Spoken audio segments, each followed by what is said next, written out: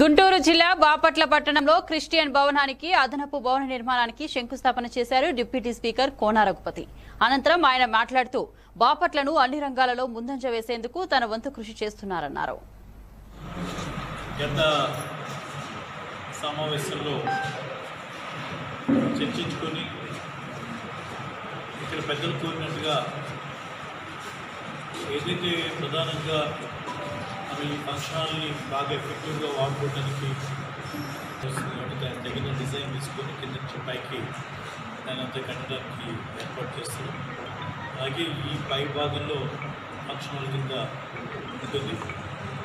ఈ కింద ఉన్నది పూర్తి స్థాయిలో డైనింగ్ కింద ఉండే విధంగా పోయిన సదుపాయాన్ని తీసుకుంటూ పంపించే విధంగా దీన్ని డెవలప్ చేయడం చుట్టుపక్కల కాంపౌండ్ వాల్ రేస్ చేయటం బయట ఒక వేదిక కళ్యాణ వేదిక ఓపెన్ ఇవన్నీ కూడా మనం ఒక ఫేజ్ మేనర్లో అన్ని ఒక ఐదు వర్క్లుగా డివైడ్ చేసి ఐదుకి మనం ఇవాళ స్పెషల్ ఆఫీసర్ ఆర్డీఓ దగ్గర అప్రూవల్ తీసుకున్నాం.